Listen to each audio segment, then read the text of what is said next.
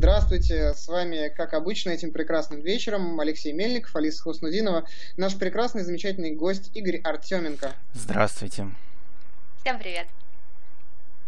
Мы давно не стримили, давно, собственно, две недели перерыв был, э, мотались по разным ивентам, по разным мероприятиям, так что сегодня отстримим на полную, ребята.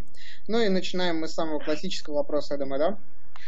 Да, начинаем с классического вопроса. Игорь, расскажи, пожалуйста, как ты вообще стал CG-художником, как ты пришел в эту профессию, что тебя надоумило? ну, наверное, как у всех. А, я сразу извинюсь, я немножко заболел, поэтому я а, голос у меня поникший. А как я стал таким? Ну, да как, как, как-то так получилось, что в детстве, в принципе, нравилось рисовать. А, рисовал для себя, рисовал в таком кружке в пришколе был. И ближе к окончанию школы надо было определяться, куда пойти, кем стать. Ну, естественно, как и все, я не, так и не определился. А, я пытался поступить на архитектуру и, в принципе, хорошо сдал экзамены, но по разным, так сказать, причинам мне не сошлось, и я стал инженером. И, собственно, рис, эм, рисовать я уже к тому времени перестал практически, но к последним курсам вдруг, собственно, как-то это. Появился у меня активный интернет, я увидал, как рисуют другие, вспомнил, что тоже когда-то рисовал, и решил, что, в принципе, еще не поздно восполнить. И уже где-то вот с 2000, наверное, 2010 года я, в принципе, учусь рисовать. И так получилось, что вот спустя два года, как я так начал уже рисовать CG, ну, учиться, то у меня появились первые заработки. И Э, когда я уже получил диплом, я его так успешно сложил в стол куда-то. И, в принципе, сейчас до сих пор э, работаю иллюстратором. И мне пока все плюс-минус устраивает. Ну, так, вкратце, если совсем. Хорошо.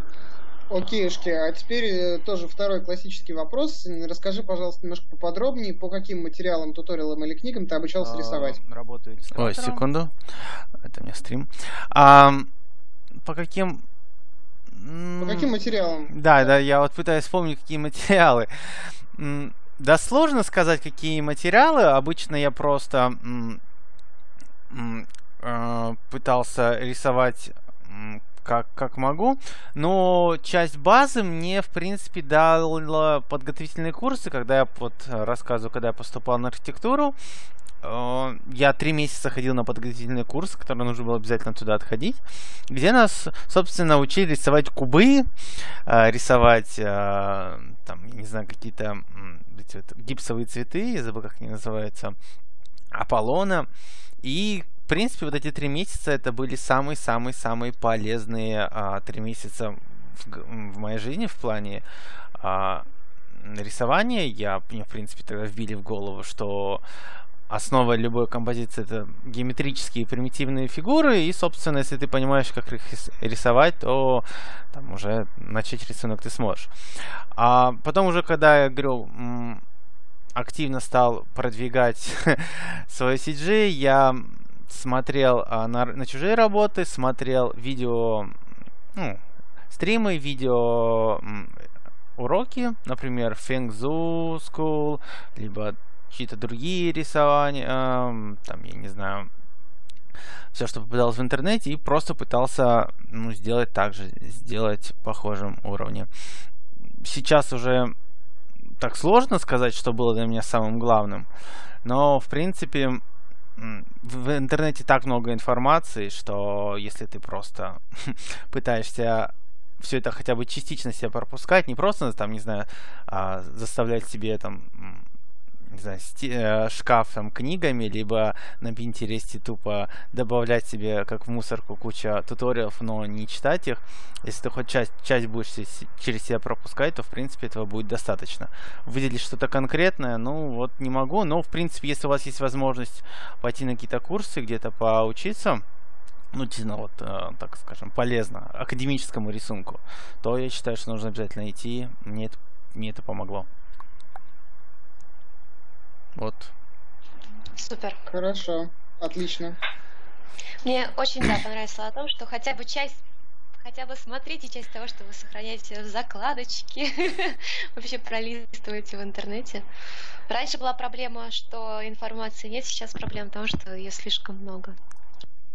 Я вдруг да. только сейчас заметил, что у меня, кажется, камера включена. Я на нее выключу, а то она немножко рисунок закрывает. Да не, не, да ничего, оставляй камеру, наоборот, любой стрим лучше, просто любой стрим Черт, он заметил, он заметил, надо Да, он заметил спущенную камеру. Да, дом-то я не убирался. Да ладно, уже все увидели твой дом, поэтому все уже... Ну ладно, пусть будет. Хорошо.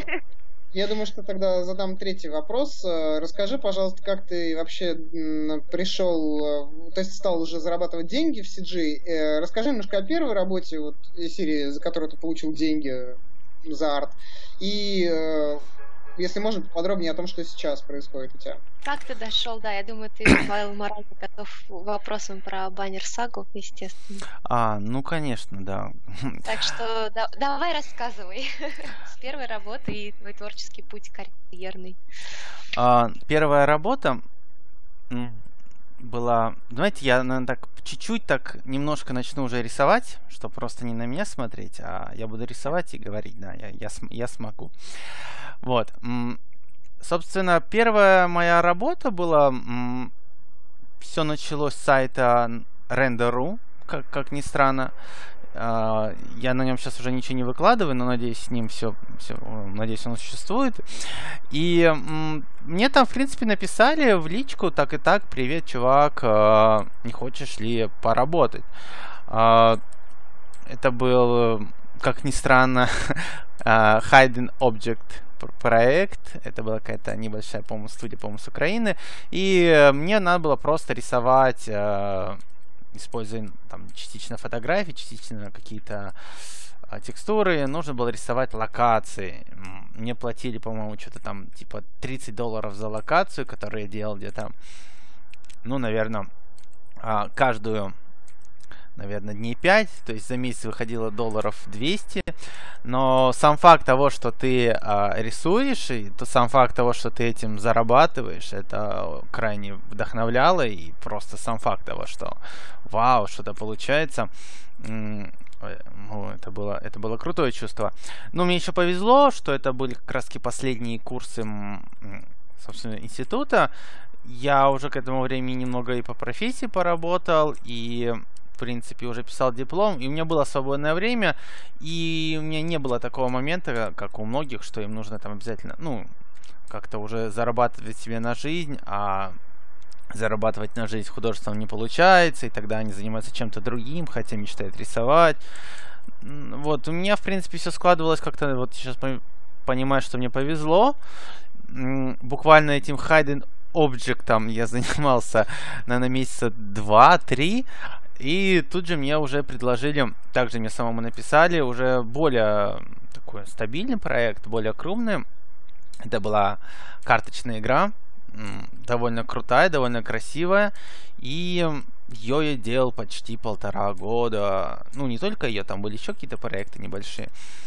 Но потом вышел Hearthstone, вышло еще все остальное, и как-то это все не сложилось. И, собственно, я в один прекрасный момент оказался а, без работы. И это было прекрасное чувство, как неудивительно. А, я вдруг понял, что я могу заниматься чем-то, чем-то, чем давно мечтал, но боялся попробовать. И тогда я, собственно, и написал а, в студию Stoic, которая, собственно, тогда выпустила как раз-таки к этому времени The Banner Saga, The Banner Saga первая часть. Тут небольшая, наверное, приквел, что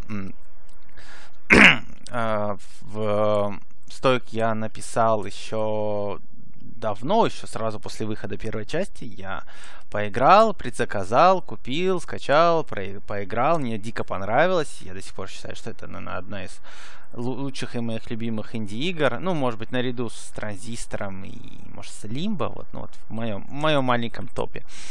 И дико мне понравилось, я сделал фанарт э, такой простенький, э, довольно-таки, я помню, вдохновился каким-то там другим рисунком и кадром с какого-то там фильма.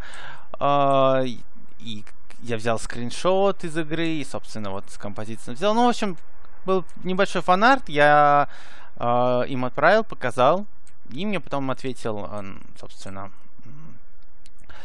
а, издатель игры, сказал, что прикольно, скинь, пожалуйста, Харес, мы себя, может, может быть, распечатаем в офисе, повесим.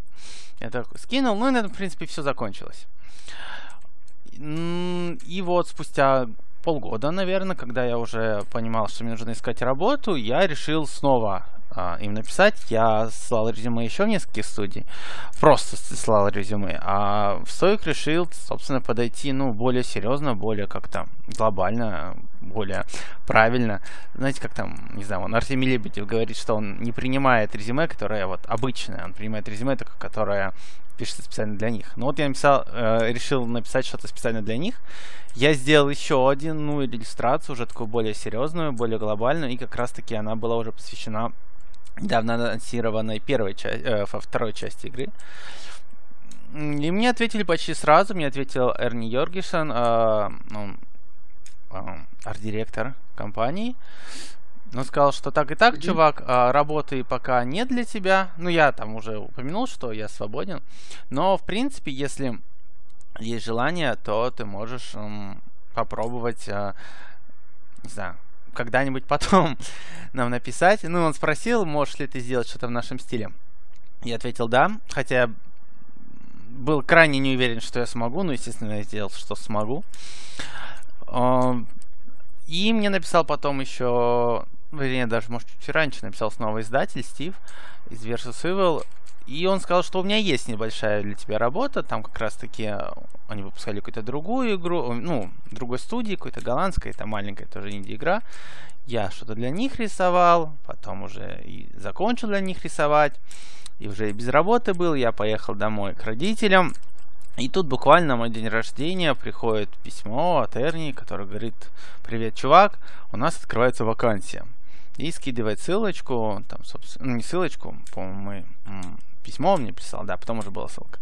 Если вкратце, студия Стоик искала себе человека, но искала его, так сказать, по-американски. Они организовали конкурс, в котором нужно было а, нарисовать а, композицию, локацию, по сути, из игры. Ну, в стиле игры, которая могла быть ну, уже вставлена в игру. И кто лучше нарисует, то, собственно, работу и получит. Ну, очень просто мне дали небольшой карбланш, как самому такому наглому. Ну, не только мне, по-моему, там человек пятерым такой карбланш дали. Мы начали там за несколько дней раньше, потому что официально это все а, выложили в интернете, и им пришло куча других заявок. Если не ошибаюсь, за общее количество претендентов на место в студии было 142, кажется. Ну и, собственно, мне повезло чуть больше.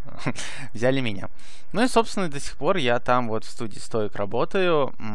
Я нарисовал большую часть э, локаций environment для The Banner Saga 2. Принципе, отзывы игры говорят о том, что игра стала выглядеть, ну, как минимум, не хуже. Так что, видимо, я сделал свою работу неплохо. Ну, я надеюсь, по крайней мере, это. А, и, ну и сейчас я дальше работаю в студии Стоик. Ну и понятно, какую игру мы скоро должны делать. Это The One of Saga 3. Я не знаю, Круто. не усыпил, надеюсь, наших зрителей? Нет, Нет. ни в коем случае. Это интересно как раз, я тем более, как что... Раз второй баннер саги решила перепройти первый и пока еще не успела это сделать, поэтому второй я, к сожалению, еще не поиграл. Ну, Пожалуюсь. Ну, я надеюсь, вы это исправите. я надеюсь, вы ее купите. Нет, купим такую просто не просто. Надеюсь, вы все-таки купите ее. Надо сейчас этот. А ты купил баннер Сага 2? Да. Угу. Мне оно в Steam е куплено, так что все хорошо. Ну ладно. Ну ладно. У меня, ты знаешь, у меня куплено очень много игр в Steam е, в которые я не играл. Вот я на самом деле Баннер Сагу играл, но... Ох. Это участь многих. Ну да. да. Участь многих. Участь распродаж, я бы сказал, вот. Ну, не только распродаж вообще. У меня есть и купленные игры, не знаю, на PlayStation, которые куплены без распродаж, но все равно никак, никак руки не доходят. Это вот какая-то проблема. В, в детстве был, был слабый компьютер и дикое желание играть. Сейчас мощный компьютер, куча игр, и, и ты не можешь в них играть, потому что некогда. Дурацкая несправедливость. Господи, я тебя понимаю. Да, все понимают. Все, думаю, да, все понимают. А у кого-то еще и компьютер теперь не, не круто. Не может играть. Да. Так, давайте так, не будем о грустном. Не будем о грустном. А, ну, на самом деле, для ник... Э, вернее, ни для кого не сюрприз уже, что ты будешь финализировать свою картинку. Расскажи о ней пару слов. Во-первых, как ты начинал на ней работать. Если можно, разложи по слоям, как ты до этого. Uh-huh. Ну, совсем, я понимаю, что здесь и так все понятно. Но для тех, кто нас смотрит, для тех, кто совсем учится рисовать, собственно, покажи, как ты с ней работал и как ты будешь ее финализировать, с чем будешь работать в первую очередь, что отложишь на потом и так далее. Ага, да, конечно. Это просто композиция. Она должна была, была стать вроде как таким промо. Ну, не стала, просто она выкинута. И я решил ее вот сейчас к стриму закончить. Она мне, в принципе, нравится. Итак, а, изначально я сделал такой небольшой... Так, я сейчас все повыключаю. Чего все началось? А, небольшой скетч. Он был довольно грязный, страшненький собственно, как я обычно начинаю рисовать. Вот он такой.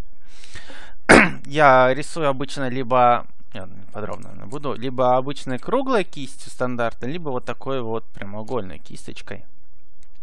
А, черным я накидываю общую композицию и иногда два варианта. Либо я ее м, делаю таким побледнее и потом сверху рисую более более аккуратный, более м, красивый lineart, либо обхожусь без lineart а и просто нарисоваю, начинаю рисовать поверх. Ну, в данном случае был лай lineart. Я вот, вот здесь покажу. Вот он. И после чего я начал, так сказать, по правилу, по правильно, как я, собственно, рисовал э, локации для The Banner Saga, я начал по слоям рисовать с фона, хотя не всегда так делал. Ну, небо, тьма, так сказать, вот я общий задник, водичечку и кораблик. Я сразу скажу, что я не всегда вот так вот делаю во много слоев, но в данном случае я хотел сделать такой образцово немножко показательный рисунок, более аккуратный, более правильный. Рисовать по слоям сложнее, потому что нужно переключаться между слоев, нужно следить, чтобы ты не залез там на другой слой, но при этом дает тебе больше возможностей для дальнейшей кастомизации рисунка. Ты можешь передвигать какие-то элементы, ты можешь изменять там, допустим, цвет, цвет э, каждого элемента, но не трогая другой. Ну и, в принципе, опять-таки, если говорить про конечный результат, если ты это ложишь в игру, то он обязательно должен быть на разных слоях, чтобы это все двигалось. Ну, в данном случае это двигаться не будет, это просто рисунок, но вот также на разных слоях. Хотя, возможно, потом ближе к концу я просто плюну и уже буду поверх как рисовать на слое. Но на данном этапе вот так. О, вот. Сейчас я буду э, примерно накидаю э, общие, общие детали и потом буду, собственно, уже это все дорисовывать, вот уже так накладывать именно ну, такой текстурный вид, делать небольшой рендер, делать все это, поправлять цвета. Я постараюсь сделать рисунок достаточно ярким, красочным. Многие люди считают, я надеюсь, в этом есть немножко правды, что у меня получается довольно красочные иногда рисунки. Поэтому я постараюсь сделать вот это, ну, дан, данный environment тоже достаточно ярким, многоцветным. Вот, ну и в процессе вот я буду рисовать. Мне немножко, как и всем, будет тяжело э, говорить одновременно и одновременно рисовать, но я постараюсь, постараюсь, собственно, вот за эти там два часа, сколько или сколько будет идти стрим, постараюсь до какого-то плюс-минус э, итогового э, результата довести. Отлично, суперски.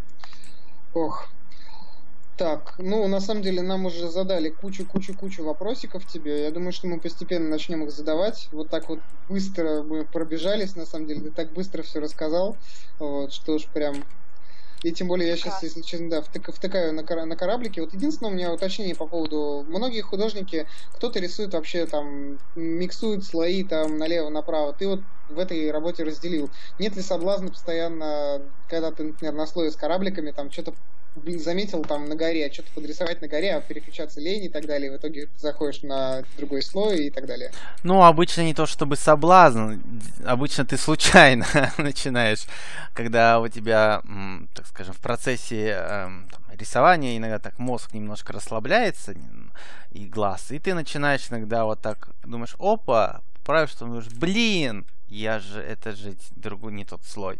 Но вот лично мне не хватает концентрации всегда за этим следить.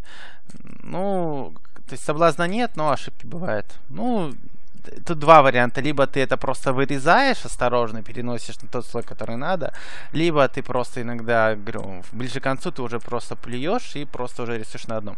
Но, в принципе, нормально. Если ты уже понял, что окей, уже вот та композиция, которая есть, она тебе нравится, если, допустим, фидбэк от твоего арт-директора, там, скажем, он говорит, окей, так, так и оставляем, нормально, допиливай, то, в принципе, уже можно, ну, я считаю, что можно уже рисовать уже, ну, на одном слое, в крайнем случае, ну, поправишь, если уж что-то случится. Кстати, а требовательные арт-директора вот в Баннер Саге? Ну, начнем с того, что Баннер Сага, ну, сделана крайне, крайне, крайне малым количеством людей. А, нас всего два художника, это включая арт-директора. То есть, да, ладно. да, всю игру... То есть ты и арт-директор. Да, у нас всего два, два человека сделали. Обалдеть. Да. ну, два я человека сделали известную игру, круто. Ну да. Ну, если бы это было совсем Индия, я бы там вопросов не задавал, но все-таки это известная игра. Ну, это все-таки Индия, я думаю. Хоть да. и известная, но это Индия. Все-таки по бюджету. Ну, Просто Индия, которая стала довольно известной. Ну, в общем-то, вот так можно сказать. Просто надо делать хорошие игры. Ну, да, да, простите. Нет, я имею в виду, что это Индия, и которые сделали классную игру, поэтому всем понравились, стали известным, и я вот к этому веду, если что. Если вдруг кто-то не понял, к чему это была. Ну, я к тому, что я тоже удивился, когда узнал, потому что первую часть сделал вообще один человек. Правда, если сравнивать со второй частью, где нас было э, в два раза больше художников, вторую часть мы сделали быстрее, ну и, скажем так, она более, ну, более насыщена артом, потому что во второй части каждая битва, ну, каждая локация, допустим, со сражением, она уникальная. В то время как э, во второй части, в первой части был некоторый, ну, генератор, такие обычные сражения, а, иногда просто одна и та же просто ну, попадалась, либо, ну, в общем, вторая часть более разнообразна, более сложная и более так, шустро сделана. Я надеюсь, если с третьей части все будет хорошо, то она будет еще круче, и я, я уже я уже выложусь на полную, потому что ну, как бы уже немножко научился. А на третьей баннер сага будет работать три художника. Нет, не три. А, ну, может быть, может, да, может, шесть. Ну, ну, это было бы логично. На первое один художник, на второй двое. На третий прибавится команда. Ну, может быть, да. Я удивлена, что нет вопросов, э, как попасть к вам, как попасть к вам. Ты, конечно, рассказал, но... Ну... ну, точнее, такие вопросы, конечно, наверное, я думаю, позже, видимо, будут, я не знаю. Ну, такие вопросы, в принципе, сложно задавать, потому что студия маленькая, и если говорить про крупные студии, любые, не знаю, будь это Wargaming, или будь это Blizzard, или будь это, я не знаю, Riot Games, у них постоянно течка кадров, и у них постоянно требуются люди, да. А вот любая маленькая студия, ну, у нее всегда с кадрами все более скажем, а, консервативно, подберу такое слово, и они редко набирают себе людей, потому что, как правило, ну не правило, часто так бывает, что если э, уходит художник или уходит главный программист, а программист всего два, то это может чуть ли не, ну, не говорить не о развале студии, тогда уже о каком-то наборе сложно говорить. А, если я не ошибаюсь, там же а, Supergiant Games, которая делала вот эти знаменитые тайтлы, как Транзистор, Бастион, сейчас она делает Pyre. У нее, по-моему, на сайте написано, что мы не ищем никого к себе. Можете нам, пожалуйста, не писать, и сколько уже лет не существует. И так, по-моему, у них состав толком и не менялся. Ну, Но в любом случае, как попасть в Stoic, это не ко мне вопрос. Вот. Стоик мне сразу вспомнил, соответственно, мультик «Как приручить дракона», поэтому это святое. А, да, шикарно. Мульт, ну, ну, да, и тоже на эту скандинавскую тему, да. Ну, вообще Кстати у нас... говоря... А, угу. Говори, говори. Да, да. Продолжай, продолжай, продолжай, не буду тебя перебивать. Ну, это я, собственно, уже немножко в другую тему. Я хотел сказать, что коллектив э, стоит вообще небольшой крайне. А, собственно, есть программист главный, есть второй программист, так сказать, который появился уже тоже ближе ко второй части. Есть э, вот арт-директор, он же второй главный художник. Есть сценарист и, в принципе, ну, в принципе, вот это основной костяк. То есть основ... основной костяк игры э, компании это, ну, можно сказать, 5 человек, включая меня. Вот. И есть, ну, допустим, анимацию помогала делать сторонняя компания, то есть мы все рисовали, они помогали э, э, анимировать. Но, в принципе, также работает большинство студий, больших и маленьких, современных. То есть к основному составу всегда ну, подключается какой-то небольшой процент либо даже большой процент фрилансеров, которые всегда участвуют в проекте, ну, которые участвуют в проекте, но не числятся как в основном составе.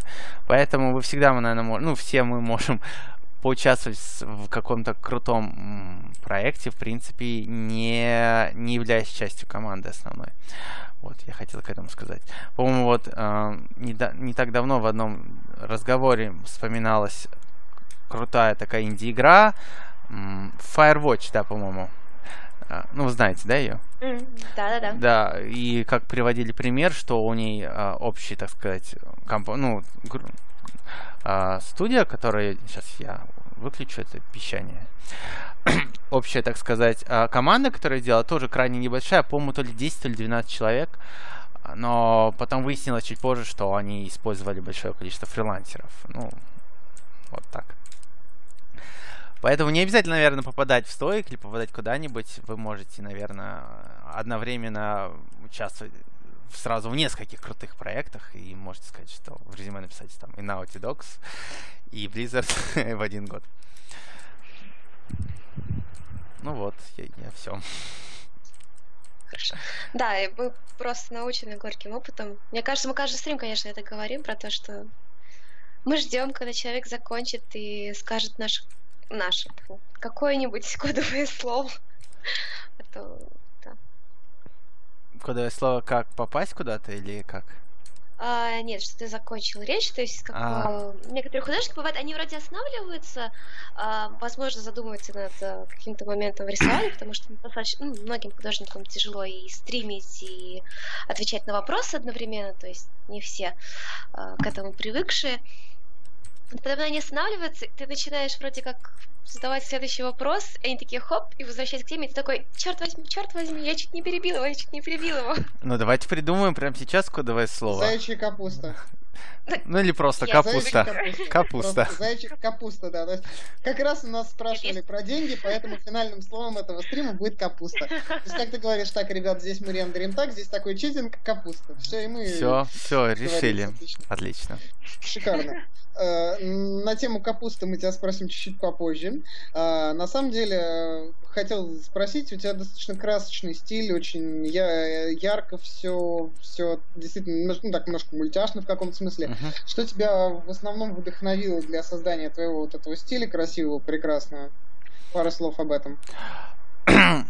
Так, ну, как-то он, знаете, сам выработался возможно, если глубоко копать, ну, если, так сказать, не глубоко покопать, наверное, а, просто он не нравился, плюс ко всему, или, так сказать, контент, которым ты вдохновлялся, который ты брал за пример. Ну, я, допустим, в детстве всегда очень любил игры Blizzard, я любил, допустим, игры от Ubisoft, например, Принц Персии, особенно вот это такой 2008 года, который, по-моему, никому, кроме меня, не понравился, сказочный. И, в принципе, когда я начал рисовать, я любил аниме раньше, сейчас уже как-то не смотрю, но вот... И когда я начал рисовать, собственно, видимо, у меня как, ну, так сказать, а, пример того, что хорошо, это были довольно-таки красочные, э, детализированные, сложные работы. И, в принципе, я начал рисовать так же. Если можешь еще глубже копнуть, можно сказать, что, я не знаю, я пытался как-то убежать от серых будней, от серого мира вокруг и пытался придумать свой собственный мир, более яркий, более сказочный. Э, можно также придумать, что, в принципе, а, это ну, востребовано в игровой индустрии такой стиль. Более, ну, возможно, он более востребован, чем... Ну, кроме раньше был, когда я только начинал рисовать. Сейчас-то уже, конечно, всем нужен и фотобашинг, и все такое, и такое, и прочее, прочее. Вот. Ну, в принципе, у меня... Ну, мне нравится. И у меня это получается. Поэтому какой-то cool story нет. Скорее просто так сложилось. Э, и, наверное, у всех художников это складывается скорее э, с тем, просто что у них изначально за примером было, да, если там какой-то человек, который ты любишь, не знаю, там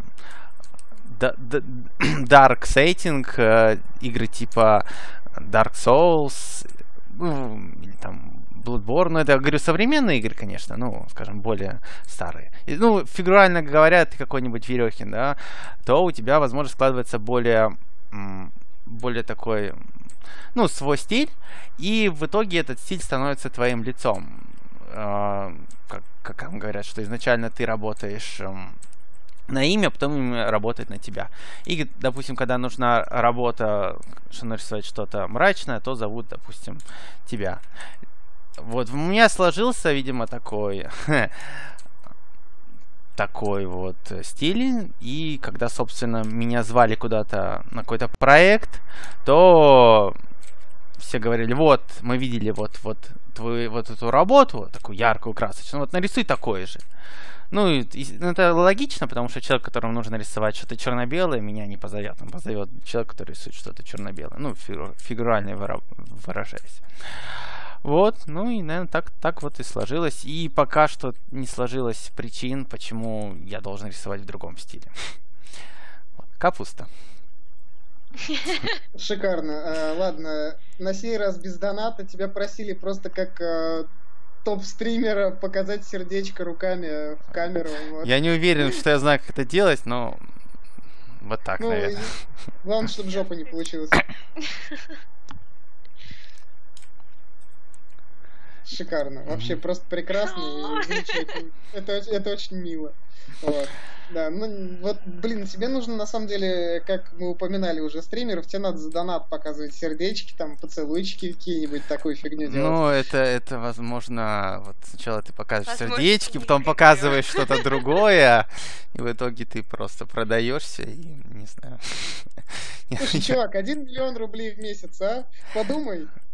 Ну, я думаю, на одну Кариночку с одним миллионом рублей приходится еще 350 Кариночек с 250 э, рублями в месяц. Поэтому... тысяч ты хотел сказать. Ну или сотен, не знаю, Кариночек. Ну, вы думаете, ну да, да, да, поэтому давайте так сказать. Повторять чужой успех это, это неэффективно, нужно как-то это свой придумать стиль. Что-то другое показывать. Капуста. Прекрасно. Да, я просто такой немножко организационный момент. А, ребята, есть, возможно, такие, кто пришел к нам в первый раз или просто забыли. А, вопросы мы задаем по специальной ссылочке. Всю информацию можно найти под видео в разделе «Информация» и также «Фак». Вот там указаны все ссылочки, поэтому задавайте вопросы, не стесняйтесь. Игорь классно на них отвечает очень активно, так что я думаю, мы на многие вопросы успеем сегодня ответить. Yeah.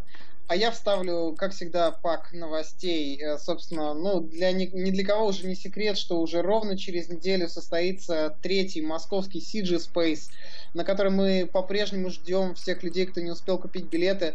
В общем, те, кто уже купили билеты, молодцы, а те, кто еще и прозорливые и следят за разными а, интересными арт-пабликами, могли купить билеты дешевле, потому что в нескольких пабликах действуют промо-акции, собственно, с промо-кодами, и можно купить билет чуть дешевле.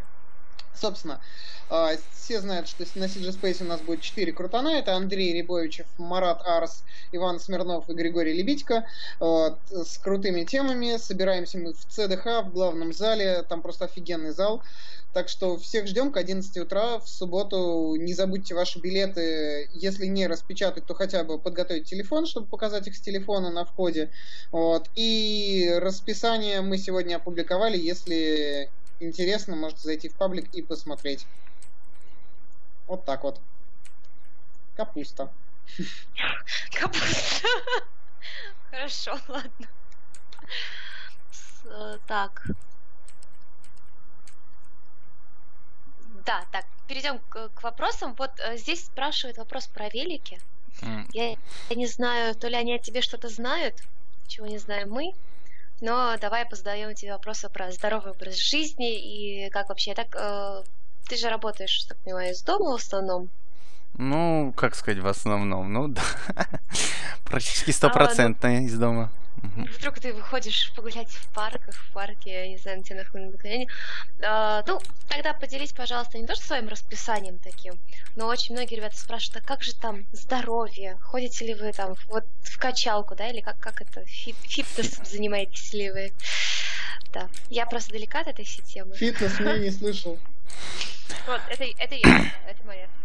Ну, а, наверное, и я тоже довольно далек от всей этой темы.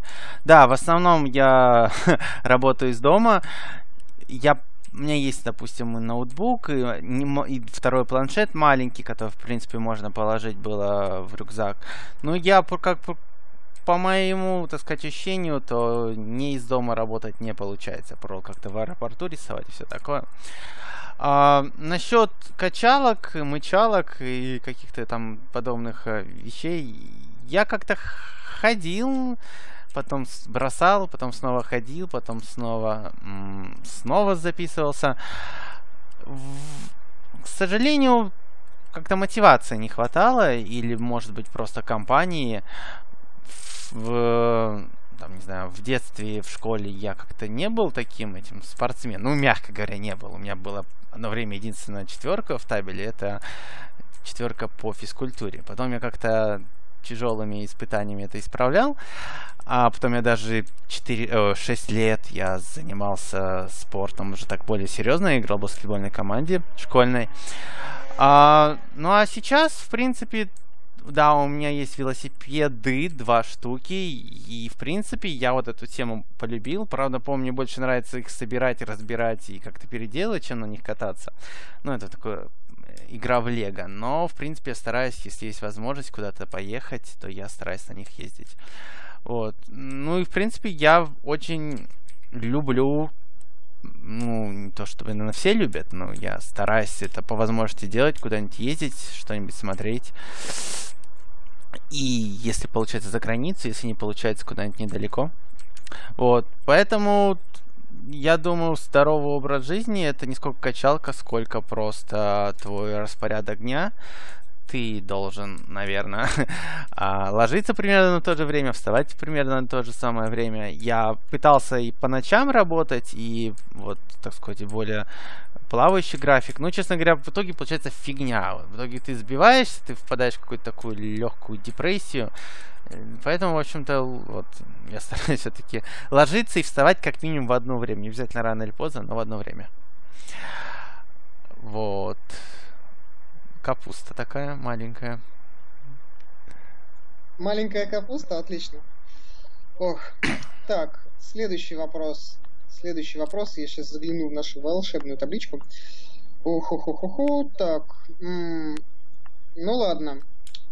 Возможно ли э, человек с ником Java Dav если я правильно прочитал, спрашивает, возможно ли сочетать CG и полноценную личную жизнь, если у тебя жестокое разделение дом-работа? И как побороть трудоголизм, когда у тебя самая лучшая работа в мире? Ой, так, ну, совмещать личную жизнь и CG, ну, конечно же, возможно. В принципе, все взрослые, по-моему, успешные CG-художники довольно свободно заводят и семьи, и детей. У меня детей нету вроде бы, но, но с личной жизнью вот сидит с, коси, с косичками личная жизнь, и, в принципе, вроде как все пока нормально. Вот. А насчет трудоголизма, ну, вот, кстати, это, кстати, наверное, хороший вопрос в некотором роде, потому что когда у тебя м, хорош, в некотором роде, может быть, даже грустно, но когда я только начинал рисовать и начинал работать, как-то мотивации и огня в моих глазах и просто, ну, рост моего, так сказать, скилла, он был более существенный, чем сейчас. И, в не... и мне кажется, это довольно сложно, и я вот уважаю людей, которые даже получившие очень-очень крутую работу, а у меня есть такие знакомые, а они все равно не останавливаются, и все равно они хотят еще больше, больше, больше, лучше рисовать, куда-то там стремиться. Потому что я даже себе замечаю, что, допустим, вот окей, мне нравится моя нынешняя работа, мне нравится, в принципе, что я делаю, и как-то и как-то я уже и, и не так расту, как, как, как, как раньше. Как ты тут же начинаешь себе там фигурально бить по щекам, и, и блин, на, на, надо, надо стараться, надо что-то как-то новое попробовать, как-то лучше, лучше рисовать. Хотя, конечно, все равно, я думаю, даже если ты как-то не сильно себя сильно себя учишь, но имея практику, с практикой работая, ты все равно будешь постепенно улучшать себя не знаю, ответил ли я на вопрос, но я думаю, никаких проблем с личной жизнью и CG нету абсолютно. Просто, я думаю, это немножко другая причина, что многие художники сами по себе являются довольно интровертными, ну и, может быть, не слишком социальными людьми, ну, просто по причине, так сказать, что вот они такие, да еще если ты живешь в каком-то небольшом городе, и, и этот город там, ну, понятно, если ты живешь в Лос-Анджелесе, вокруг тебя всегда будет куча крутых художников, то если ты там, не знаю, живешь в небольшом городе, то тебе зачастую просто сложно найти круг общения, но опять-таки я просто свой именно опыт говорю, найти себе круг общения, найти себе друзей, найти, найти людей, с которыми ты а, там сможешь общаться на тему, которую они понимают. И поэтому ты сидишь дома, общаешься через интернет, и, и вроде бы в какой-то момент тебе кажется, блин, ка, никакой личной жизни мне не получится. Ну, в итоге все, в итоге, я думаю, всегда у всех получается. Капуста. Окейушки. Мы с тобой будем, как знаешь, как два шпиона переговариваются. Ты будешь так, капуста, а я окейушки. Это просто как дятел, дятел, я ромашка, типа того. Так, собственно, распространенный вопрос. Э, Игорь Игорь спрашивает, любимые художники, кем вдохновлялся, когда начал рисовать? Ой.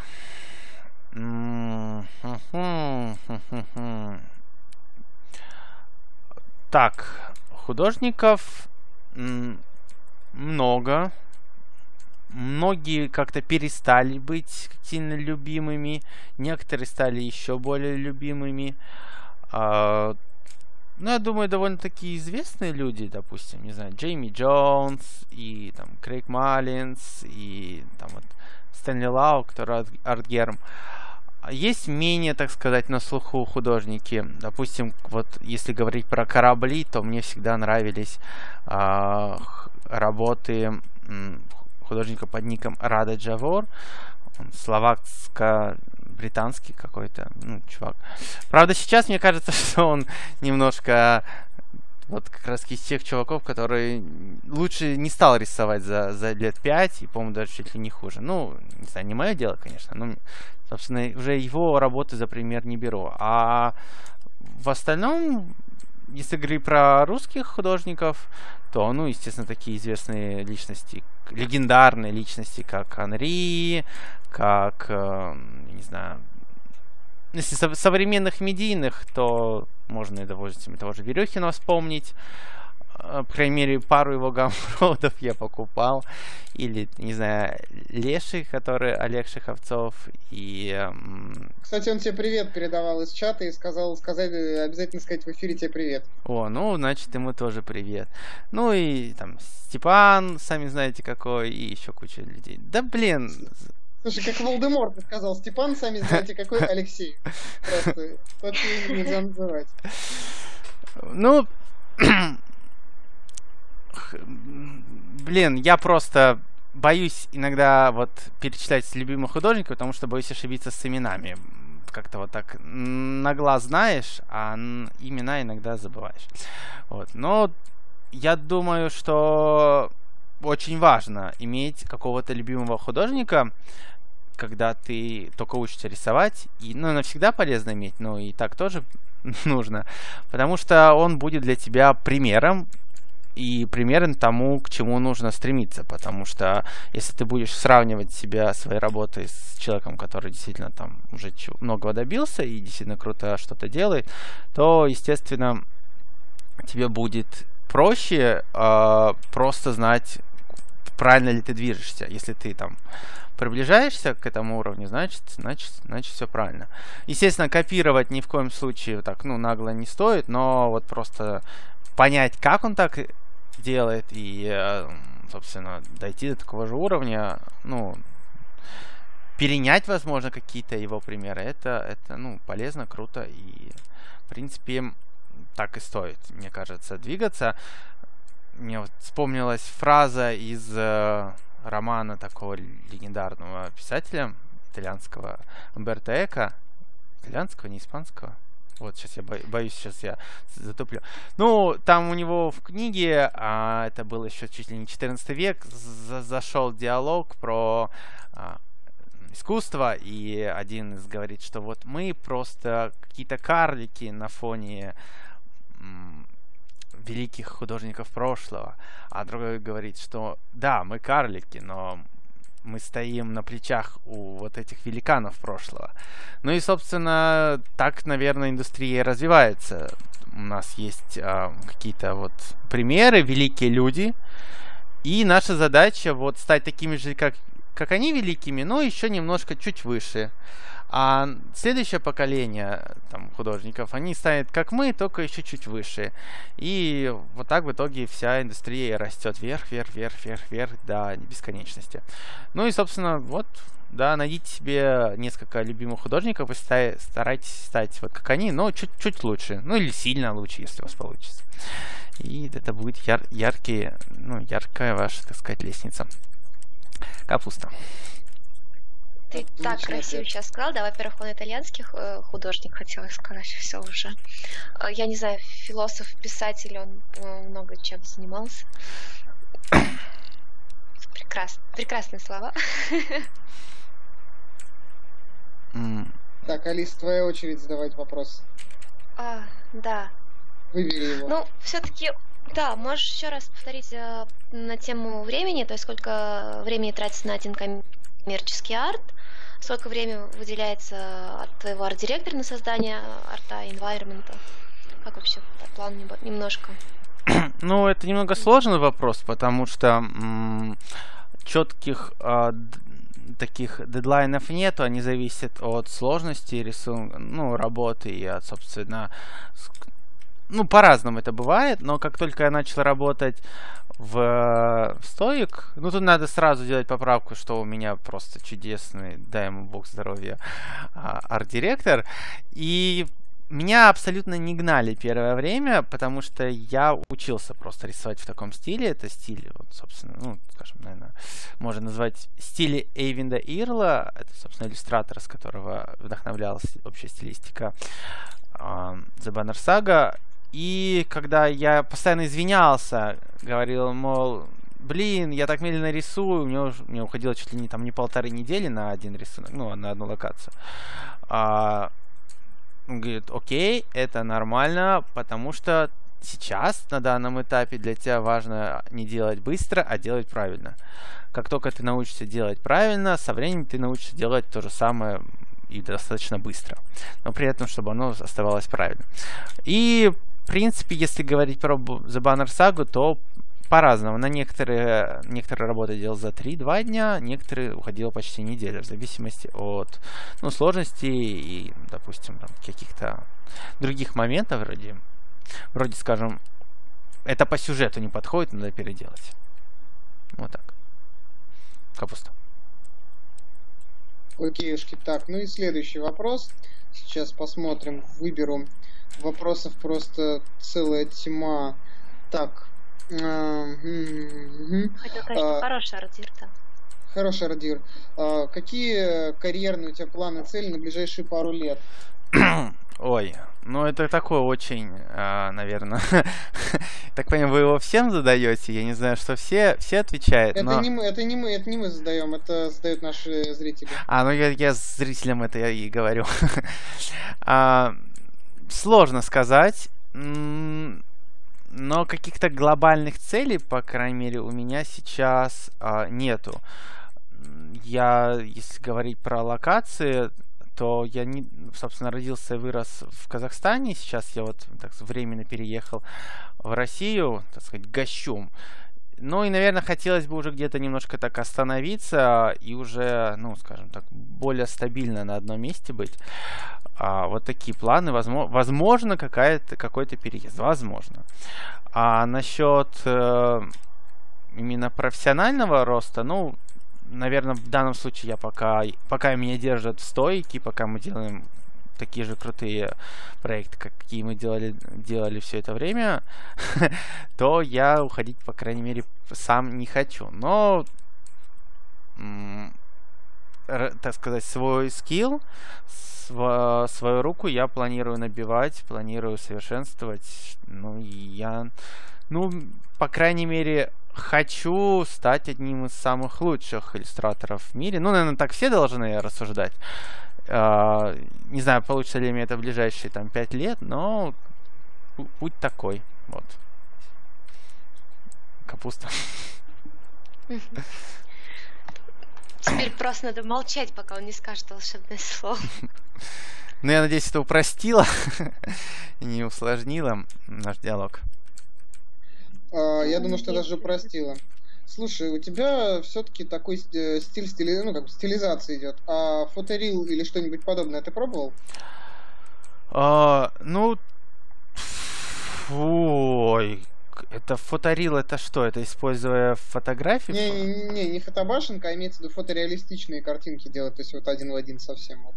Ну, скажем так, наверное, я к этому иду, да, то есть сохраняя, так сказать, э, так сказать, яркость картинки, я мечтаю делать, ну, рисунок э, более, более реалистичным, более правильным. Но именно так вот фоторил, чтобы именно задачу, так сказать, поставить, ну, нет, такого еще не было, чтобы вот Хорошо, тогда уточню, а фотобашинг как раз? А фотобашинг пробовал, да. Получается, честно говоря, так себе. Наверное, отчасти потому, что фоториал я тоже не освоил. То есть а, я ну, скрепливал что-то из, фото, из фотографий, но у меня не получалось потом кистью что-то подрисовывать, что-то поправлять, чтобы это не было заметно. Ну, думаю, это просто я еще немножко не дорос. Ну и как-то, честно говоря, мне это, ну, не, не очень пока нравится, интересно. Ну, вот и все. Поэтому пока просто неинтересно пока. Окейшки. Мне, кстати, интересно, ты вот тоже сразу начал делать в цвете, а делали ты когда-нибудь покраску по ЧБ, например? Да, да, как, конечно, было такое, и не раз. Это скорее в... Я так пытался делать персонажей, то есть, ну, characters я рисовал в ЧБ. В ЧБ как-то проще, мне казалось, э, делать э, дизайн, делать... Скажем так, объем, делать свет, чтобы, ну, так сказать, было проще следить за тем, чтобы он был правильно объемным, а не, так сказать, рандомно. А потом я пытался его красить. Ну, честно говоря, получалось, ну, хуже, чем вот рисовать сразу в цвете. Ну, это очевидно, но у меня это было прям, прям я понимал, что конкретно импакта в, мо- в моем, ну, моими руками а, не получается. Поэтому я оставил это затею и рисую в цвете. Думаю, даже получается, ну, у меня лучше, получается так лучше. Капуста. Хорошо. Я просто сейчас смотрю на картинку, если честно, я пытаюсь уловить, э, как ты прорабатываешь, то есть ты достаточно быстро перепрыгиваешь с одного элемента на другой, там ты лодочку сделал, там ты снова вернулся к волнам, там и так далее. И при этом у тебя достаточно хорошо организованы слои. А, можешь вообще пару слов сказать о своем пайплайне? Вот ты рассказал по слоям, как ты уже разложил картинку, а сейчас комментарий о том, что ты делаешь, о чем ты думаешь во время проработки на данный момент, вот, и что будет далее. А, хорошо. Ну, сразу говорю, это будет, наверное, скучная и неинтересная часть а, моего рассказа, но я попробую. Так, я уберу, э, так сказать, раздел с кораблями. Я, видите, здесь уже начал чуть ли не поверху рисовать. Это, ну, нижний, так сказать, нижний блок. Я уже в один слой скоро сейчас начну рисовать. За задний фон у меня пока задний фон. Э, обычно, ну, необычно в данном случае я вот взял, так сказать, вот такой вот кусок, э, накидал жестко э, задней локации и сверху, сверху через маску э, начинаю это все раскрашивать просто. Ну, тупо создаю новый слой, создать клиппинг маск и начинаю красить.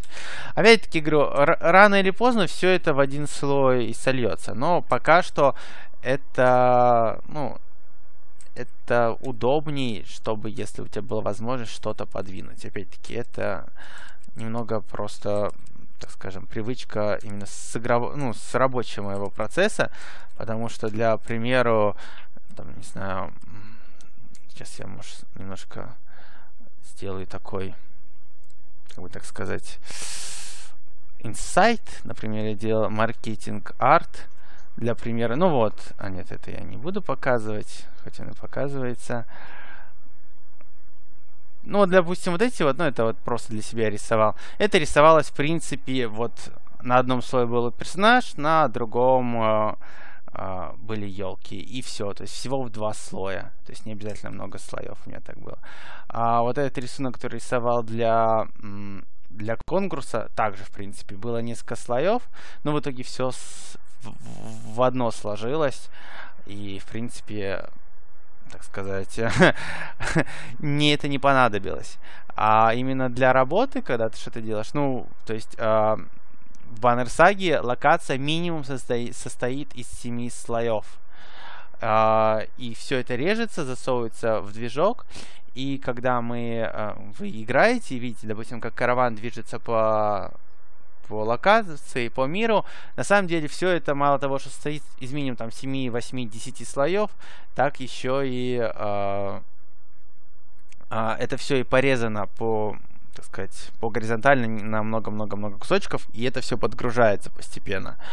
А, естественно, просто необходимо так рисовать. А для, для такого просто маркетинг-карты, ну, это, это не так, а, не так важно. Ну, по крайней мере, в, в моем случае. Так, сейчас я еще, может быть, что-то покажу. Ну, или... А, давайте мы сейчас здесь покажу. Так, главное сейчас порно не открыть. Это прекрасно просто. Главное сейчас порно не открыть. Если бы ты не сказал, то даже если ты открыл порно, никто бы этого не заметил. Это рефы. Привлек внимание всех людей, которые рисуют. Знаешь, чувак рисует на одном мониторе, и пол уха слушает стрим. И даже не смотрит, что происходит. А потом, хопа, да, и все такое. Порно, где порно? Вот. Так что не привлекай внимания. Ну, например, это пока еще даже не анонсировано, вы чуть ли не первым увидите, это, допустим, а, промо-арт для The Banner Saga 2, допустим, один из. Ну, допустим, а, он рисовался также в, получается, в 4 слоя. На заднем фоне, собственно, фон. Потом два персонажа отдельно на каждом плане и вот эти вот, вот веточки, что у нас залезли. А, то есть я, в принципе, считаю, что если ты рисуешь э, какой-то какую-то композицию с персонажем, то пусть он будет на отдельном слое. Если ты рисуешь именно environment, то как правило, в моем случае, я считаю, что это уже по ситуации. Он может быть и в 10 слоев, и может быть в один. Поэтому как, я это все веду к тому, что а, никакого у меня именно четкого под пайплайна вот рисования environment ов нет. То, что я показал, мне нельзя было показывать, но надеюсь, меня не уволят. Ну. Ладно, главное, что я это не выложил. Вот. И там будет много таких крутых а, промо-артов, поэтому ну, купи, купи... тогда на да. Ютубе. Да не. на Ютубе, да. Там будет как раз э, просто картинка, здесь было ваше порно, и все. Не, ну небольшой кусочек уже был выложен этого рисунка такой обрезанный, ну а полная версия еще пока нигде. Ну ладно, это не так важно. А, главное привлечь к игре внимание. А вот то, Слушай, что... ты просто говоришь обалденным голосом, который подходит серийному убийце. Еще раз скажи какую-нибудь фразу вот этим голосом, пожалуйста. Когда ты сказал, главное привлечь к игре внимание. Вот сейчас можешь сказать начистую, пожалуйста? А что именно ты хочешь услышать от меня? Отлично. И главное привлечь к игре внимание. Пожалуйста, скажи этим голосом. Главное привлечь к игре внимание. Отлично, в Гамроуд, спасибо. Ой. Окей, без проблем. Если надо что-то озвучить за сходную плату, я обязательно вам помогу.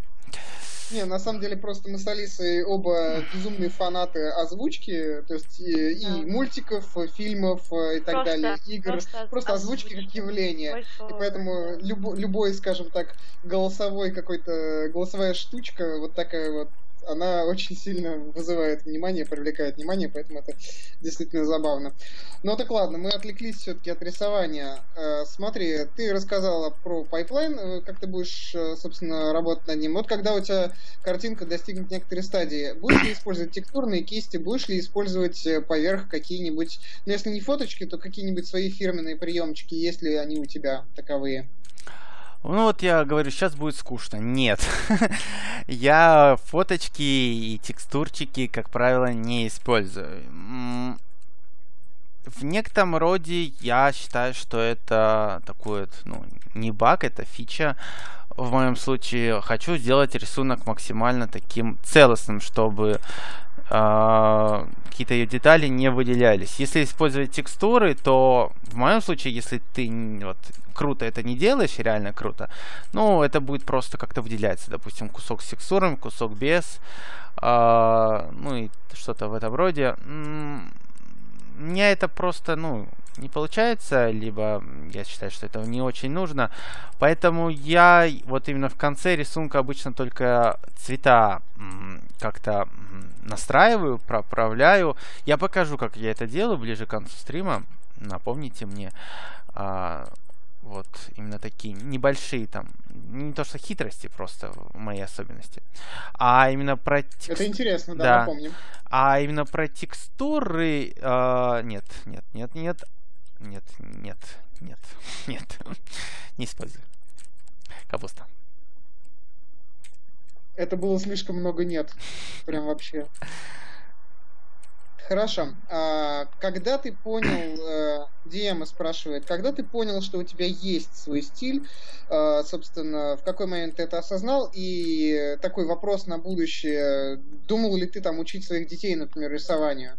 Вот если у тебя на будущее совсем такой философский вопрос. Угу. Так.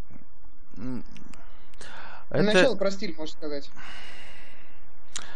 Ой, да я, я не знаю просто, как на него ответить, чтобы это было э, интересно. Да не, не знаю, как у меня стиль сложился, и не знаю, как, как я его понял. Просто просто так сложилось. Помню, я уже отвечал нечто подобное. А насчет э, детей и э, вообще, ну тут я могу уже более развернуто сказать, я часто, к сожалению, не то чтобы слишком часто, но так замечаю явление, когда родители начинают э, своих детей как им кажется, учить чему-то, ну а зачастую это выглядит так, что э, люди пытаются чтобы, ну, сделать так, чтобы дети реализовали себя в том, в чем у них самих не получилось. Ну, допустим, ты мечтал в детстве играть в теннис, а у тебя не сложилось, значит, мой сын пусть играет в теннис, станет великим теннисистом. Ну, по-моему, вот у Сирены и э, так как ее вторую звали. У сестер Вильнюс точно так же было, да. И их отец мечтал научиться играть в теннис, не получилось, но он научил своих дочерей. И получилось супер, круто. А иногда, ну, зачастую получается гораздо хуже, когда, там, не знаю, сын мечтает стать, не знаю, там, не знаю, там, скромным программистом, а его отец пытается из него сделать спортсмена, либо наоборот. Поэтому в моем случае я считаю, что предрасположенность к искусству, оно не, не, не обязано передаваться по, через кровь и не обязано передаваться даже через культуру, в которой ты крутишься. Это довольно сложная, сложная химия, не знаю, как она вырабатывается. Поэтому в моем случае с детьми я обязательно постараюсь им привлечь любовь к, к искусству, по крайней мере, а, не знаю, ки- хорошему кинематографу, ну, в моем понимании кинематографа, я постараюсь обязательно свозить их там в какой-нибудь хороший музей, какой-нибудь хороший красивый город, там, не знаю, какой-нибудь типа Флоренции или Барселоны. И если их это заинтересует, то я их поддержу. А если, собственно, они захотят заниматься чем-то другим, даже то, что мне не нравится, то, ну, мои дети, они все-таки не моя собственность. И я постараюсь поддержать, чем бы они ни занимались. Ну, не станут художниками, ну, значит, значит, все. Вот. Поэтому, все-таки, все будет зависеть от того, что им будет нравиться. Потому что, если говорить про мою семью, то а, мой отец там в детстве пытался отдать мне там, не знаю, чтобы я там занимался каким-то спортом, какими-то единоборствами, потом еще чем-то, потом говорит, что вот научись играть на гитаре, будешь душой компании, ну что-то такое. А, мне это всегда было абсолютно неинтересно, и если говорить про интерес своего отца, ну, абс- а как-то не то, что совершенно, но в целом, допустим, разные интересы. Поэтому вполне возможно так же будет и с моими детьми. Вот. Так что, надеюсь, ответил. Да. Скажи, пожалуйста, вот тебе привет от двачей. Я очень просят спросить тебя про двач, э, поскольку ты начинал, написано здесь, ты же начинал с двачей. Вот поделись, пожалуйста, этой историей, потому что меня ребят, например, лично очень заинтриговали и требуют внимания твоего. Ой, я... Поделись, пожалуйста, историей. Да, рассказывать особенно нечего. Дв... Дв... Ну, двачи, так называемая имидж... имиджборда, а это все началось, если не ошибаюсь, с японских форумов, потом есть крупные американские такие форумы. Особенность в том, что это анонимные форумы с какой-то такой небольшой субкультурой. Я как-то на них попал случайно и заметил, что, несмотря на то, что 90% там крайне, э, крайне глупые люди, скажем так, не то чтобы крайне, ну, скажем, немножко неполезную критику дают, то 10% дают очень хорошую критику. И так сложилось, что у меня ну, в тот момент жизни, я только начал учиться рисовать, мне сильно не хватало человека, который бы именно тебя да, Форчан, да, американский.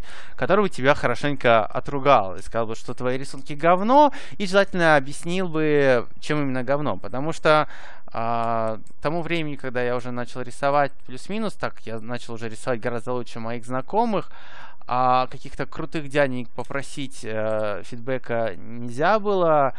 А, там, не знаю, преподаватели в вузах сами в CG не занимались. Вот. Поэтому я вот там выкладывал свои рисунки и, в принципе, а, там были довольно полезные, так сказать, люди, которые мне, в принципе, помогали.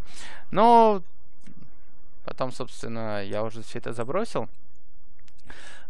И а, в принципе, в принципе, все форумы, на которых я сидел, это там, ну, все рендер или еще какие-то, или Polycount, такой кру- крутой международный английский форум. Я как-то с них ушел, ну, просто некогда было особенно читать.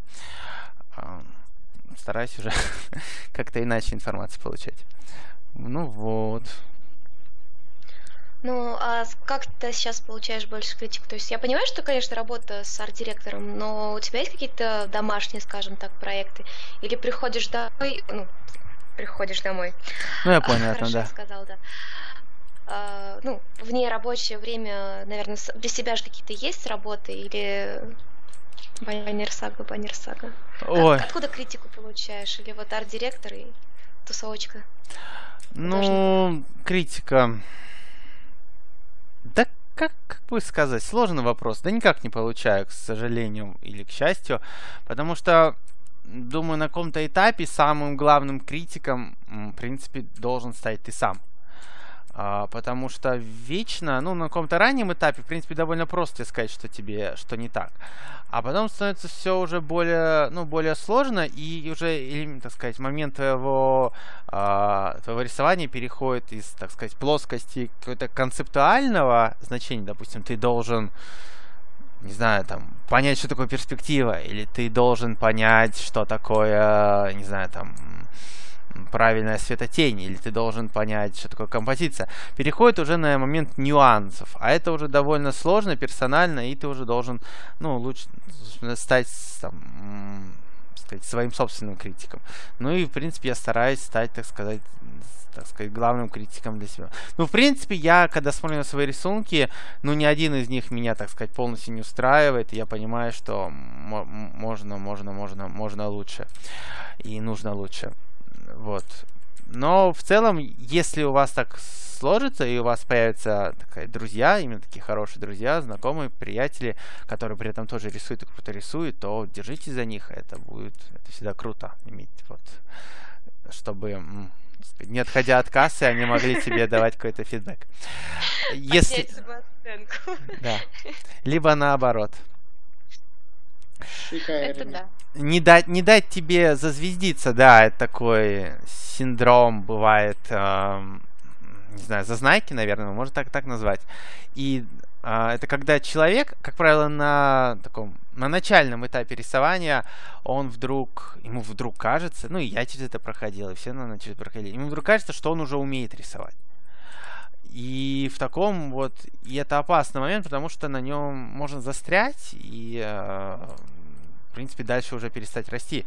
Потому что ты уже начинаешь плохо воспринимать уже критику и уже перестаешь искать э, как-то в в себе, ну, в себе изъяны, в своем, в своем, так сказать, в своем в своем творчестве, ты уже знаешь, думаешь, что ты уже все, ну не все, ты уже знаешь, и это опасно. И вот друзья твои, они могут сыграть либо положительную, либо отрицательную роль, да, и, то есть они могут говорить, вау, какой ты классный, и тогда это будет консервировать твой нынешний уровень. А могут, если у тебя действительно крутые друзья, настоящие друзья, они скажут, чувак, ты прости, но, но это не круто это, это фигня какая-то. Давай переделывай и больше, больше, так сказать, нам этого не показывай. Иначе мы там не возьмем тебя играть с нами в доту или что-нибудь такое. Вот.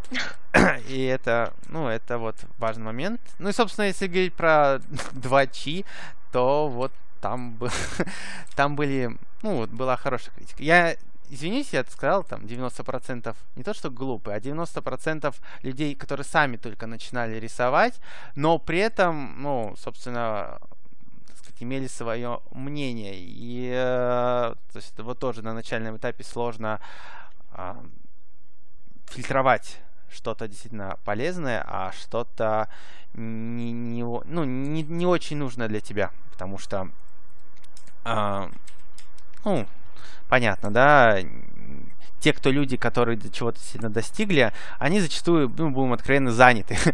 и говорить тебе критику не будут. Зато в комментариях всегда там куча людей, которые, в принципе, тоже только начали рисовать, но зато они уже могут там что-то сказать, что, возможно, даже будет немножко, не знаю, там вредно. Допустим, э, пример, допустим, того, что некоторые, допустим, советуют тебе, э, там, не знаю, задрачивать, скажем, такое слово не очень красиво, задрачивать кубы, как на тех же двачах говорили. То есть учить, рис, учиться рисовать э, в, так сказать, в таких примитивах. С одной стороны, это очень правильно. С другой стороны, а, как правило, наверное, никто так толком не учился в том плане, что это немножко скучно. Я считаю, что ты должен учиться немножко в процессе. То есть а, ты должен найти что-то, что тебе очень нравится, и рисовать как можно больше. Если ты человек умный и адекватный, то ты будешь, в принципе, постоянно э, утыкаться в какие-то стены, свой, так сказать, э, лимит, ну, то есть должен понять, блин, какая же у меня фиговая анатомия. Или, блин, какая же у меня фиговая, там, не знаю, цвет. И постепенно ты вот решая эти проблемы, а вот уже когда ты понял, что у тебя цвет плохой, то ты открываешь книжки, а, и а, там, блин, окей, есть такая вещь, называется цветовая перспектива. Или, ой, вот там, не знаю, нужно там сочетание цветов бла-бла. И вот так ты уже куда-то движешься. А, ну, вот именно самостоятельно скачать книгу какого-то Ли, либо Бамыса и по ней научиться, мне кажется, так не получится. То есть, ну, в общем, не знаю, по-моему, никто туда уже куда-то ушел. А, если, так сказать, я заранее забегу, если кто спросит мой главный совет а, в в рисовании, то как можно больше практики, осознанной практики. Практика это 90-95% собственно твоего, твоего будущего скилла. А именно теория, знания, информация, ну это остальные там 5-10. Потому что информация, там, не знаю, и крутые художники, и не крутые художники, в принципе, смотрят один и тот же ArtStation, они, там, не знаю, себе на стену там, репостят одних и тех же художников, но при этом имеют почему-то разный уровень. Ну, причина в том, что одни рисуют, а другие, там, собственно, лайкают. Лайкают, да. Ну, тогда э, вот ты как раз подвел к тому вопросу, ты говорил, что больше практики. И здесь как раз два таких вопроса, что эм, как новичку посоветовали просто много рисовать, и человек не знает, что именно, э, собственно, спрашивает, с чего начать, что именно рисовать, рисовать там из головы или срисовывать. Ну, то что, то, что вам нравится. Я, я думаю, если ты просто много рисуешь, то, что тебе нравится, рано или поздно ты сам себе найдешь ответ на этот вопрос я думаю, те, кто, те, кто рисует, у них не возникает причины, а, что именно. Я просто как-то одно время пытался научиться рисовать на гитаре. Я тоже как-то думал, а вот с чего начать? Ну и, честно говоря, я ничему не научился, потому что я думаю, те люди, которые реально хотят играть, они просто берут и играют. И вот так же... Ты сказал рисовать на гитаре, это было круто. Простите, простите. В общем, оговорочка. И, и, да, оговорочка по Фрейду. А, я думаю, если ты хочешь стать художником, то ты будешь рисовать. Неважно, а, нужно это там, не знаю, для индустрии полезно, не полезно. Ну, про просто начните, хоть чего-то, главное, совет начинающим, начните. А рано или поздно у вас, ну, сложится понимание, что вам больше интересно, к чему вам стремиться. Ну, единственный момент, что, опять-таки, чем нужно заниматься, чтобы, допустим, работу быстрее найти, ну, на это я, наверное, вряд ли смогу ответить. Я думаю, все, все профессии нужны. А, главное, чтобы вы были одним из лучших вот в этой сфере. Прекрасно. А тогда еще вдогонку такой вопрос, просто хочется сказать, пока мы не отошли далеко от темы. А, спрашивают насчет того, как восстановиться после очень долгого не рисуя, из-за большого количества там обязательств, связанных с, э, не связанных с рисованием, я так понимаю. Очень странно написан вопрос. А, я так понимаю, что вопрос, в общем-то, скорее всего, будет примерно тот же самый. Сиди, рисуй. Угу. Или как... То есть, э, ну, человек говорит, что вырубает после 20 минут э, да, 20 минут рисования, даже если пересилить, выходит или кое-как, или, или ерунда. Вот, может быть, это тогда рисование не твое? Да, я, я думаю, ты, ты все правильно сказала. Возможно, это не твое. Это нет ничего плохого, но, ну, возможно, это не твое. А, люди, которые хотят, ну, ну опять-таки, это мое сугубо имха, люди, которые хотят творить, они, они всегда будут рисовать. В любых ситуациях, я не знаю, там, и писать также они будут, ну, если они хотят стать писателями. Не знаю, Ремарк писал, там, делал, там, не знаю, первые э, черновики, там, своего первого романа, там, в, в окопах сидел, там, Первой мировой, под взрывами, и, и это было не так гламурно, как Battlefield 1, и, и и он просто хотел этим заниматься. А, то есть там и все, все люди, которые там иногда сталкив... многие художники сталкивались с реальными проблемами и в личной сфере, и профессиональной. Ну, те, кто просто хотят этим, они, они в итоге выживают. А те, кто не хотят, ну, ну, ну, ну все. Значит, значит, значит, возможно, не твое. Немножко, может, фаталистично прозвучало. Но... Да, некоторые сейчас пойдут и будут плакать в темном углу, но я надеюсь, что ну... вы справитесь, ребят, вы сможете. Ну, я просто себя вспоминаю. Вот я в школе, ну, просто брал, и у меня все мои тетрадки были какой-то фигней зарисованы. Ну, просто мне это нравилось. А, Возможно, у некоторых как-то они однажды проснулись как-то ночью, ой, я хочу стать художником. Возможно, есть такие случаи. Но мне кажется, это больше исключение, чем правило. И нужно спрашивать исключения. В основном, ну, это просто предрасположенность какая-то. Не, не талант, я вот в слово талант не очень верю. Предрасположенность, и тогда тебе э, ну, просто будешь этим заниматься.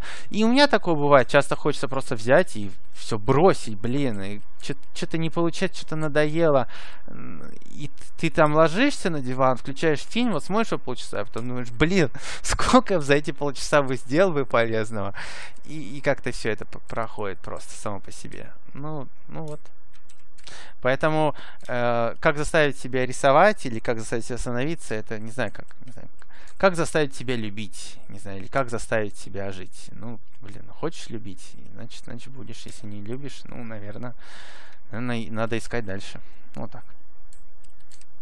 А сегодня, в опис... А, точнее, в описании этого стрима будет нечто вроде Умберто Эко, философские разговоры. Ну, кто, кто не читал Умберто Эко, почитайте. Или просто почитайте, не знаю, там, банально его интервью, там, не знаю, какой-нибудь газете я как-то случайно наткнулся, и я там узнал гораздо больше, чем, чем не знаю, из учебников истории там.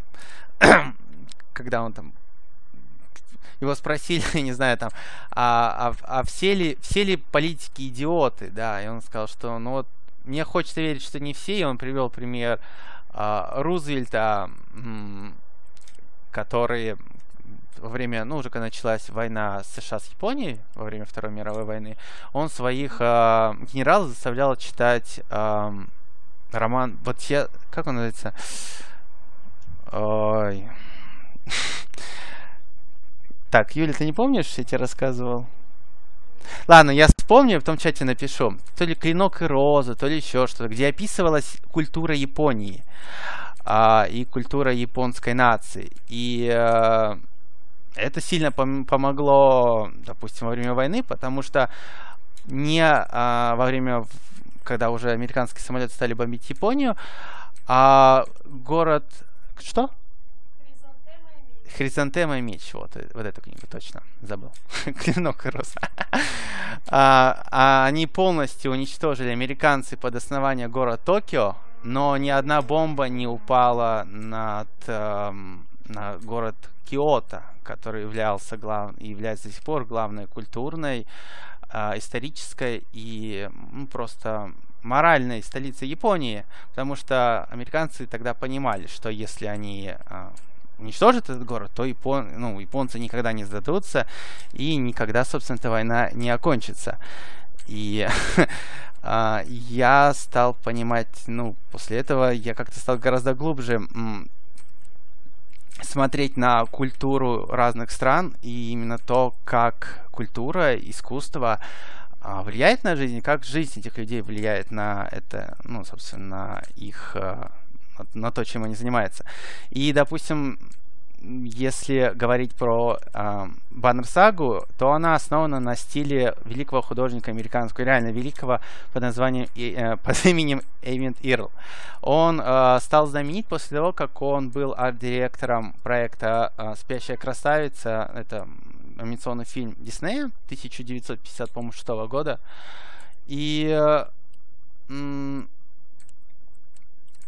и э, перед тем, как, собственно, ему Дисней попросил, собственно, возглавить все это, он э, долго изучал э, фламандскую живопись, итальянскую, французскую, и он решил, понял, что вот просто так, вот смотря на картины, он ее не изучит. И он поехал, собственно, в Европу, и чтобы лучше все изучить, он выучил фламандский, французский и итальянский язык. Он выучил три языка, чтобы просто лучше понять э, живопись, э, собственно, тех мастеров тех, тех времен. Это на что люди идут, чтобы повысить, повысить свой скилл. А также он, по-моему, ездил в Японию и также изучал э, японскую живопись. Поэтому, собственно, вот стиль Баннерсаги там часто про, про про, прослеживается, да, и я сам стараюсь, собственно, чаще, так сказать, а, вспоминать мастеров орхидеи и меча. Вот. Я не знаю, я иногда не в ту, не в ту эту ухожу. Э. А, нет, знаешь, на самом деле ты прекрасно так э, увел тему, скажем, к тому вопросу, который я хотела задать. Я думаю, Леша меня просит. Вот, потом задаст вопрос.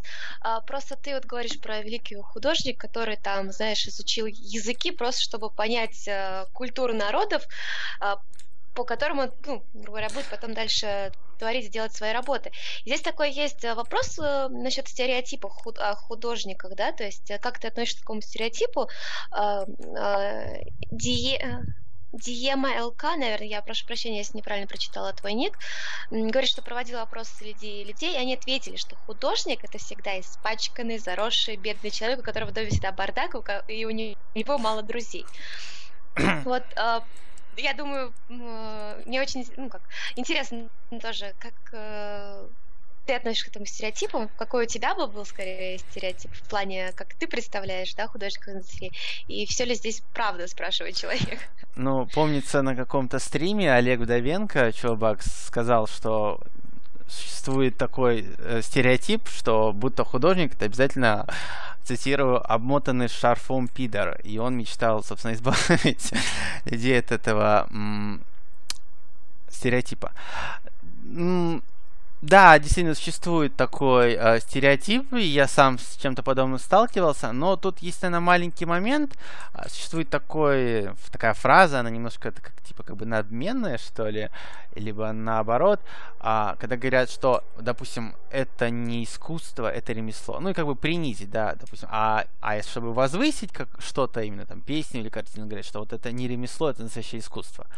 А, ну, себя я, допустим, считаю не сколько художником, сколько, не знаю, ремесленником, иллюстратором. Я не делаю именно искусство с большой буквой И, которое будет людей вдохновлять, которое будет менять эпоху. То есть я не Энди Уорхол, я мне больше нравится себя сравнивать с каким-нибудь, не знаю, там, ну, по крайней мере, себе, чтобы польстить, если сравниваю, не знаю, там, с каким часовым мастером швейцарским, который, в принципе, какой-то там тоже делает что-то действительно крутое, но при этом это что-то профессиональное. Либо я сравниваю себя просто с программистом, с инженером, с архитектором.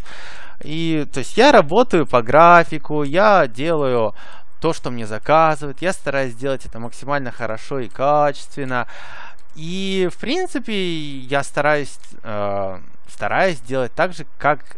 То есть, я думаю, все каче... любой человек, любая профессия э, выглядит примерно одинаково, если ты делаешь это правильно и качественно. То есть, э, ты, это одинаковая ответственность, это одинаковый, э, так сказать, подход, одинаково ты должен быть достаточно умным, начитанным и желательно, ну, не глупым человеком, чтобы э, все это хорошо и делать и лучше, чем остальные.